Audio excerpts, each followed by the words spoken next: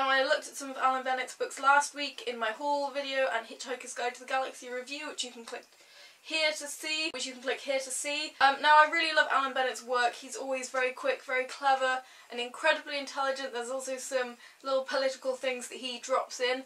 Um, he's a British author, so most of the things he writes about are very British, and this book happens to be about the Queen, and I don't think you can get more British than that. So as you can see, it's about uncommon reading, and it's really about the benefits of what a good book can do. I'm not going to spoil it for you, but in this book, the Queen starts reading. Throughout the story, the Queen kind of picks up more and more reading, and she starts getting really into it and it causes chaos in the palace and shows you just the impact that a good book can make. Uh, there are some really great characters, it's really intelligently written but not so deep and meaningful that the wit doesn't come through.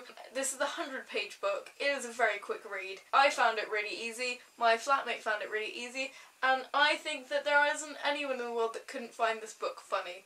So I challenge you to do that. Um, it's just so fun and I think even the cover itself is very pretty, very fun.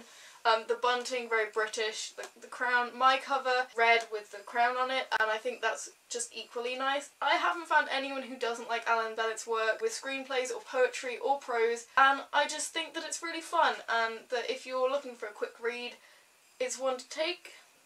Um, I know this has been a very quick review, but soon you'll be getting more and more from me hopefully over the coming months as I get more and more into my ceramics, so please stand by for that.